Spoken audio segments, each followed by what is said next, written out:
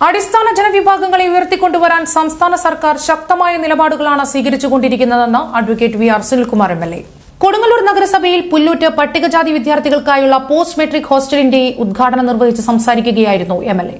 അടിസ്ഥാന ജനവിഭാഗങ്ങൾക്ക് വേണ്ടി ഇടപെടലുകൾ നടത്തേണ്ട കാലഘട്ടമാണിതെന്നും അദ്ദേഹം കൂട്ടിച്ചേർത്തു. എം പി ഫണ്ട് ഉപയോഗിച്ചുകൊണ്ടാണ് ഈ ബിൽഡിംഗ് പൂർത്തീകരണം നടത്തിയത് ചില സാങ്കേതിക കാരണങ്ങൾ കൊണ്ടൊക്കെ തന്നെ ഇതിന്റെ പ്രവർത്തനം നമുക്ക് മുന്നോട്ട് കൊണ്ടുപോകാൻ സാധിച്ചിരുന്നില്ല.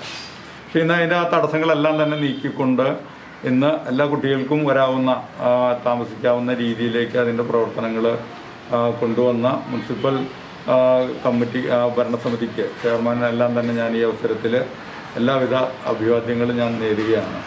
നമുക്കറിയാം ഏറ്റവും പിന്നോക്കം നിൽക്കുന്ന ജനവിഭാഗങ്ങളൊക്കെ തന്നെ തിങ്ങിപ്പാർക്കുന്നൊരു മേഖലയാണ് നമ്മുടെ ഈ നഗരസഭ എന്ന് പറയുന്നത്. പട്ടികജാതി വിദ്യാർത്ഥികളുടെ എല്ലാം തന്നെ വികസനം മുന്നോട്ട് വയ്ക്കുക എന്നുള്ളത് നമ്മുടെ ഒരു വലിയ ലക്ഷ്യം തന്നെയാണ്.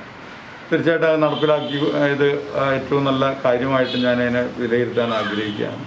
ഇന്നത്തെ കാലഘട്ടത്തിന്റെ പ്രത്യേകത കൂടിയുണ്ട് എന്ന് നമുക്കെല്ലാം അറിയാം. കേന്ദ്ര ഗവൺമെന്റ് സംവരണം തന്നെ എടുത്തു കളയാനുള്ള സാഹചര്യങ്ങളിലേക്കെല്ലാം തന്നെ പോയിക്കൊണ്ടിരിക്കുന്ന ഒരു കാലഘട്ടമാണ്. നഗരസഭാ ചെയർമാൻ കെ ആർ ജൈത്രൻ അധ്യക്ഷത വഹിച്ചു.